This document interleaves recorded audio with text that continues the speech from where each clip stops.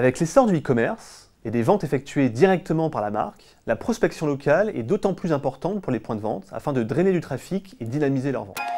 Le point de vente local dispose d'atouts et d'arguments indéniables que ne peut offrir un acteur centralisé. La connaissance du client, des variables géographiques, des tendances d'achat à l'échelle d'une ville ou d'une région, sont des forces qui, appuyées sur la stratégie nationale, doivent permettre à l'acteur local de faire la différence. Mais quels outils utiliser pour optimiser sa prospection locale? Mailing ou boitage, email, SMS, téléphone sont des ingrédients efficaces pour faire valoir ses arguments et prospecter de nouveaux clients.